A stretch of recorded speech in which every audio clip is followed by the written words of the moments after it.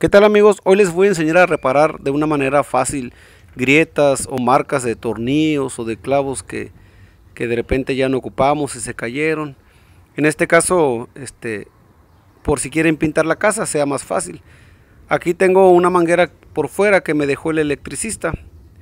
Esta manguera, de hecho yo le pedí que me la dejara así para enseñarles cómo rellenar este, los huecos o en este caso lo que se cortó de la pared primeramente pues vamos a sujetar la manguera para que quede enterrada este, y vamos a utilizar este pedazo de, cemento del mismo material que arrancamos aquí en la pared.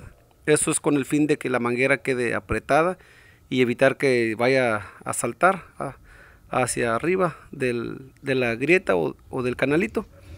Aquí tenemos otro este pocito también de tornillo que, que pues ya de alguna manera ya no se ocupó entonces como les menciono, esto es para con la finalidad de que si queremos pintar se haga más fácil. Ojalá si fuera de fácil remendar las grietas del corazón, amigos, pero eso es otro tema, así es que ahorita vamos a enfocarnos en, esto. Aquí tengo un traste este, para revolver el cemento. Ustedes pueden hacerlo en el piso o donde, o donde ustedes lo prefieran. Yo en este caso voy a utilizar este traste para que no se me vaya a regar. Tengo aquí un kilo de cemento blanco, como les menciono, gris, o uniblock hacen la misma función, entonces yo voy a usar el cemento blanco. Eso va a depender de qué tanta cantidad de fisuras vayan a rellenar en su casa, amigo, en sus paredes. Yo aquí voy a echar este el cemento en este traste y le voy a echar de a poquito de agua para que no se me quede muy aguado porque si se agua mucho puede nada más escurrirse. Vamos a hacerlo de esta manera, así como tipo masa de tamales, que por cierto, hablando de tamales ya se me antojaron, amigos. Pero pues bueno, ahorita vamos a trabajarle. Pero así se va a quedar como tipo masa para tamales.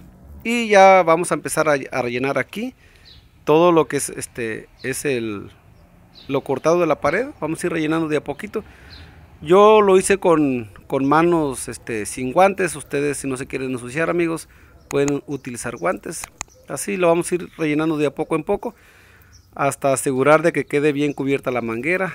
En este caso si van a ser grietas, normales hasta que quede la grieta bien este bien planita y alineada a la pared. Miren así como queda aquí. Una vez que seque un poquito con una esponja o con un cartoncito le vamos a dar así en círculos para alisar este lo que queda de borditos. Le vamos a dar unas leves talladas este para asegurar eso le digo eso con el fin de que cuando quieran pintar se haga más fácil así es que Así vamos a hacer este, aquí miren, ya le puse al otro, el, otro orificio que estaba, ya lo tapé también. Este, y así vamos a ir siendo este, con uno a uno de, los hoyos que tenga la pared.